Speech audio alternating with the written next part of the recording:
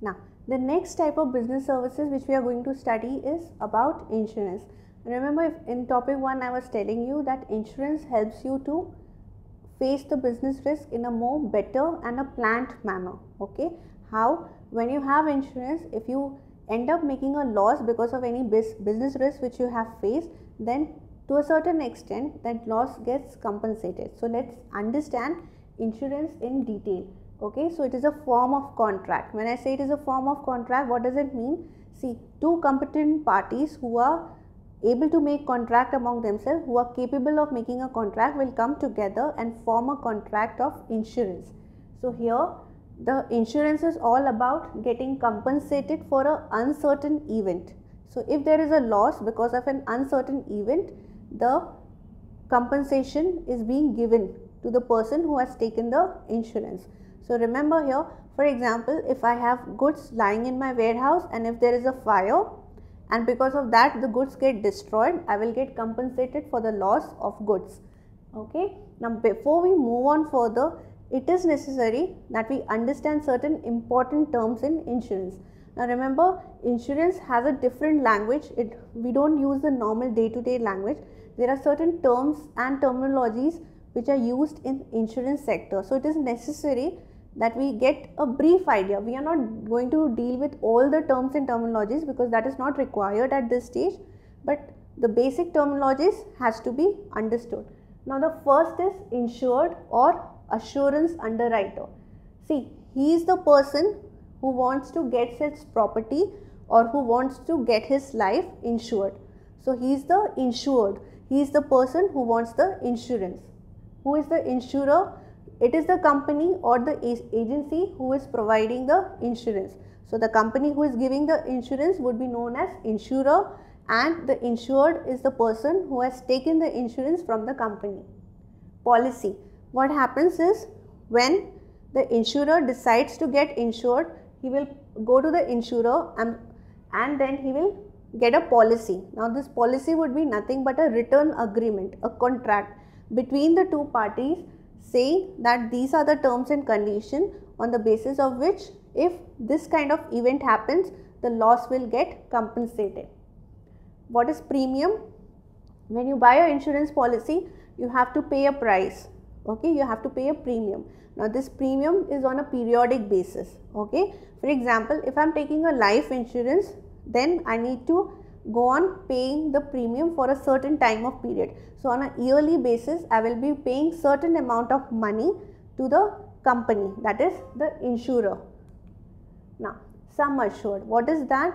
This is the amount for which the policy is taken.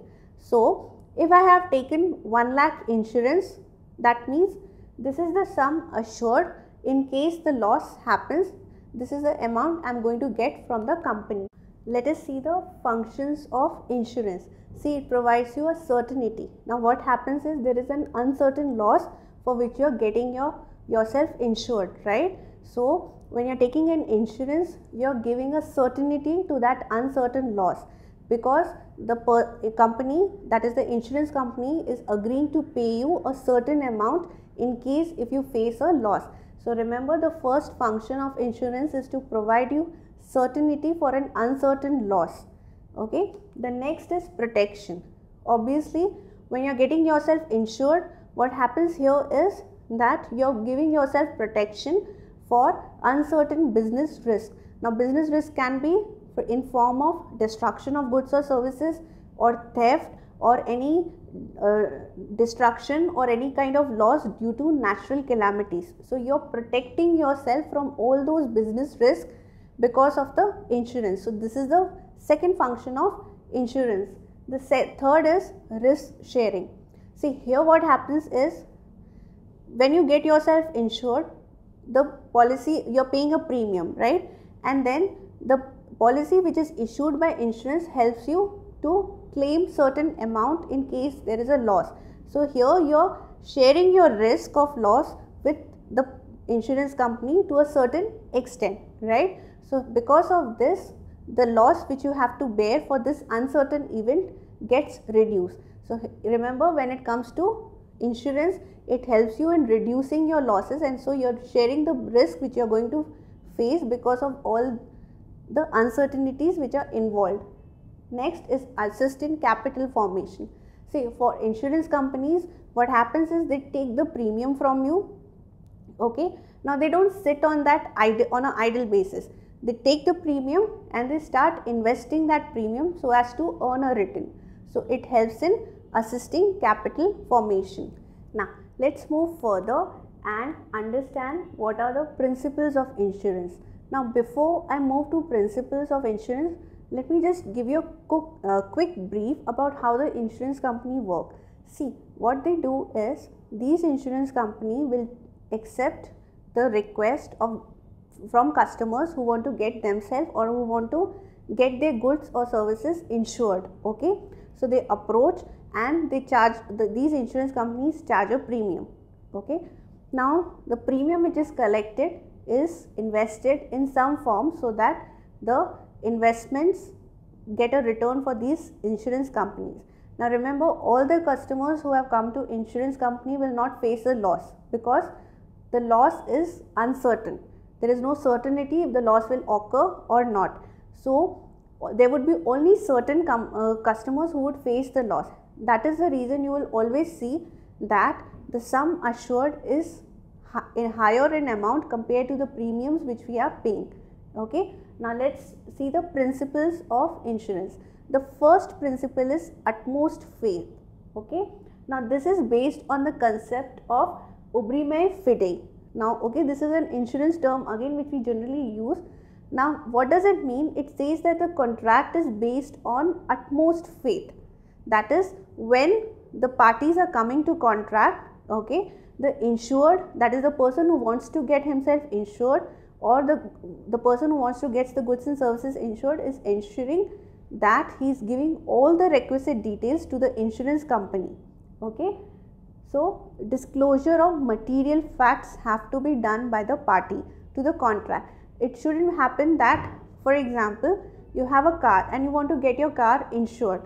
So you shouldn't hide the fact that your car has been involved in some kind of accident before. Or you shouldn't hide this fact that you have changed the engine or you have changed certain important parts of the car. So, you have to give all the details of the car to the person from whom you are taking the insurance. Secondly, let us take another example. You, we commonly take health insurance. Now, when you are taking health insurance, you need to ensure that you are giving all the details about the past accidents you have faced or the past illness which you have faced in your life. Only then the insurance contract would be valid. What if you fail to provide that information? Remember, in that case, what will happen? The insurance contract will become voidable at the wish of the insurance company. So, what they can do is they can cancel the contract and not pay you the sum assured if the material facts have been not given by the customer to the insurance company. So, remember the insurance is voidable if the material facts are not disclosed, disclosed by the insured to the insurer, insurable interest. Now, this is a very interesting principle of insurance. What does it say? You should have, that is the person who is taking the insurance should have financial interest. The subject matter of insurance contract, let's say suppose it is a car okay. Now you should have the interest in protecting the car from accident, theft or from fire, right. It shouldn't happen that you do not have any interest on the goods on which you are getting yourself insured, okay. If that is absent then the insurance contract will not be uh, acceptable, it would be a voidable contract, okay. So what happens here is the principle says that whoever is coming for insurance they should have an insurable interest. So they should have some interest in protecting that property or protecting those goods or services. Okay? Now remember here what uh, the second thing what you need to understand is by protecting the property or protecting the life they stand to the benefit on safety of the subject insured see if my car gets damaged or if I lose my car, I would suffer a loss. How? Because I would not be able to drive a car, I'll have to again go and buy a new car.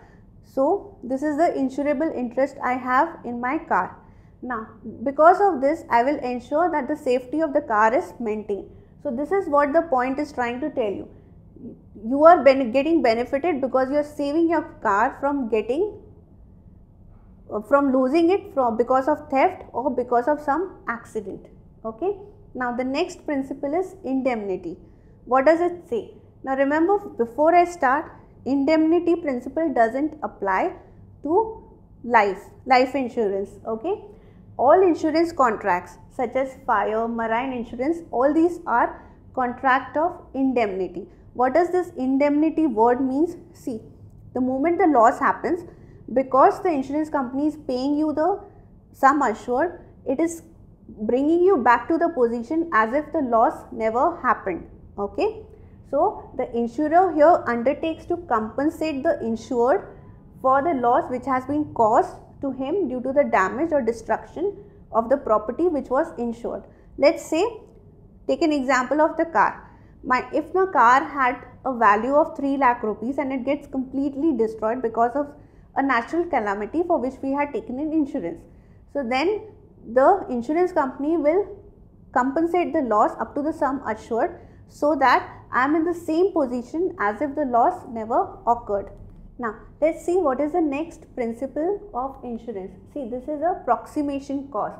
What does it say? It will get, it says that the compensation will happen only for such losses which are caused by the perils. Now, let us take an example. If your goods are insured, insured for loss against theft and loss against fire and if there is a fire which happens, okay, but to some goods gets destroyed and some goods generally what happens when the fire occurs some goods will get completely destroyed but there would be some goods who would be lesser uh, when it comes to the destruction the quantity would be uh, the destruction amount or the destruct extent of destruction would be less. So suppose after that the goods get stolen away okay the remaining goods get stolen away. So when the approximation clause or approximation cause is in force it means that if there are two or more losses. Like here the loss was loss of fire and loss of theft. Then the most dominant and the most effective cause would be the cause which would be considered for insurance purpose. So here the loss is the natural consequence. Now what happened here is first I call, uh, there was a fire okay and then only the theft happened. After the fire the theft happened right. So when it comes to insurance the company with whom I have the insurance against fire, that would be the company who would be paying me the compensation or who would be paying me the sum assured. It would not be the insurance company who has given me the insurance against theft. Why? Because the approximation cause here was fire. Only because of fire my goods got lost. So this is the approximation cause.